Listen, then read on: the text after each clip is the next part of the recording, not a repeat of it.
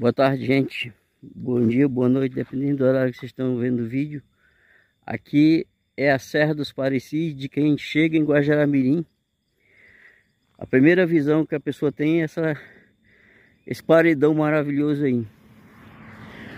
Aqui é a BR 425 ou 425, né? Que está em ótimas condições.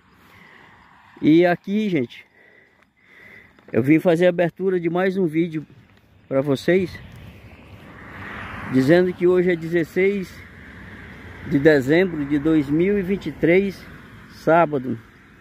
Tomara que dê para mim postar todos os vídeos que eu tô fazendo abertura hoje. Se não der, vou postar amanhã com a data de hoje, tá, gente? E o vídeo que eu vou agora apresentar para vocês é um vídeo sobre as nossas cachoeiras, né?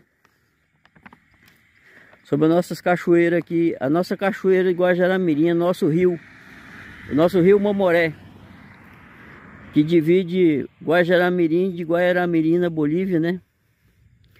E algumas particularidades deles do rio, né? Eu fiz um pequeno vídeo para vocês saberem de algumas curiosidades sobre o nosso nossa cachoeira e o nosso rio Mamoré, que, desem, que desemboca, né? Que a gente fala assim, no rio Madeira, né? Ele, ele é um afluente do rio Madeira. Então, vocês fiquem aí. Vocês fiquem então aí com esse esse vídeo pequeno, mas muito interessante sobre o nosso, nosso rio Momoré, a cachoeira e algumas curiosidades que eu vou falar para vocês. Então, fica aí com as imagens da Serra dos Parecis, aqui em Guajaramirim, no estado de Rondônia.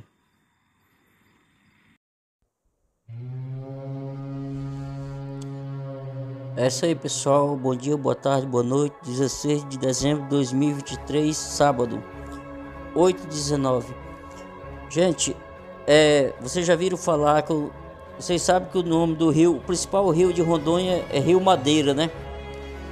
Eu tô esse vídeo aqui eu fiz no Rio Mamoré, aqui em Guajaramirim. E, e daí, vocês estão vendo essas árvores descendo? Galhada de pau, árvore, olha, olha o tamanho dessa árvore. Esse é o motivo pelo qual o Rio Madeira pegou esse nome de Rio Madeira. Porque durante a enchente, durante o inverno, muitas paus que estão na beira da praia, na beira do barranco, a, a água arrasta. E todas essas árvores vai bater no, no Rio Madeira. Isso aí é o Rio Mamoré. Isso aí que vocês estão vendo é o Rio Mamoré em Guajaramirim. Foi eu que fiz esse vídeo aí para mostrar para vocês o, o porquê que chamam o rio.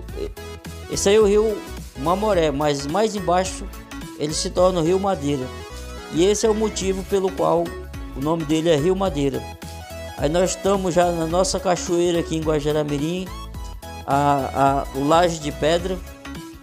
É um local muito usado para pescas, né? E também para diversões, né? E ficar apreciando a natureza, porque tomar banho aí é morte.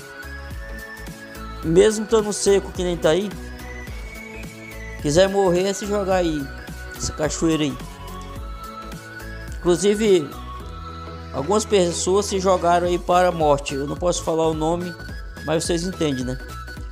Pessoas que quiserem desistir da vida se jogaram aí, infelizmente. Dois que eu sei faleceram aí. Mas não é só desgraça, a natureza é linda, né, gente? Essa supostamente foi essa cachoeira aí que os índios é, batizaram o Guajaramirim de cachoeira pequena, né? Talvez foi essa cachoeira aí que tá no bairro Tamandaré, em Guajaramirim, no estado de Rondônia. Tem uns pescadores ali querendo aventurar, mas tá devagar os peixes. Tem uma ilhazinha bem na frente, gente, ó. Se vocês perceberem, tem uma ilha. Então, esse é o Rio Mamoré, em Guajaramirim. Agora, já uma visão aérea, né? De um, peguei um vídeo de um drone, de uma pessoa que fez um vídeo com drone. Agora é uma vista aérea do, do mesmo local que eu filmei a cachoeira do Laje de Pedra em Guajaramirim. Logo depois vocês vão ver a praia. Ele vai filmar a praia Ele filmou no período seco. Essa filmagem aí é um período seco. Você pode ver essas pedras aí, ó. No tempo da cheia, cobre tudo. Essas pedras aí que vocês estão vendo. Cobre tudo. Aí fica um rio. É um rio muito forte, o rio Mamoré. Depois, olha lá a praia, ó. A pontinha da praia lá na frente. Tava começando a sair a praia. Essa praia ela aumenta muito mais. O rio não estava bem seco não, né, né, nessa época que o drone passeou em cima aí. Aí outra visão do Laje de Pedra, da cachoeira, aqui em Guajará-Mirim. É uma das atrações de Guajará-Mirim também, belezas naturais, é a nossa cachoeira aqui, Laje de Pedra.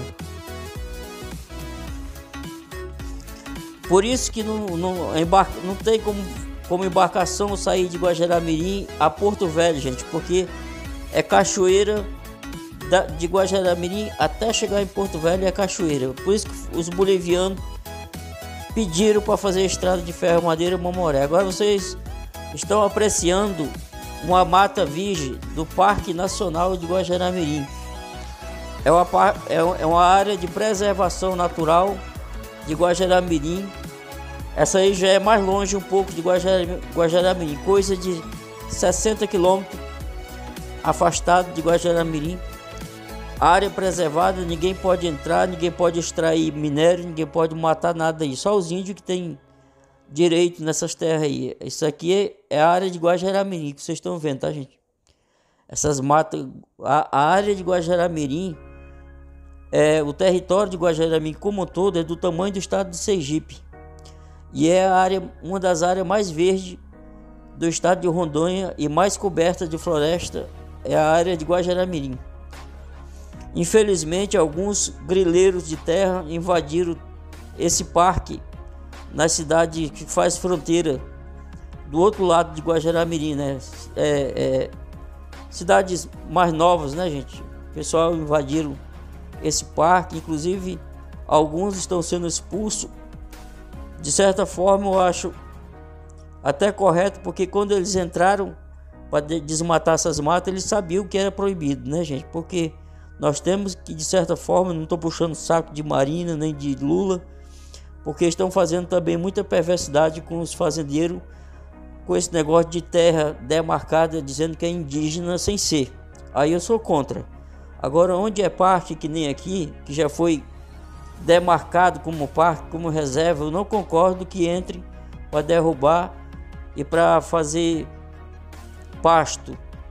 Porque nós precisamos, nossos netos, nossos filhos, nossos netos, eles não, não vão saber o que é floresta se acabar tudo. Nós, mais velhos, sabemos o que é floresta, tudo, né?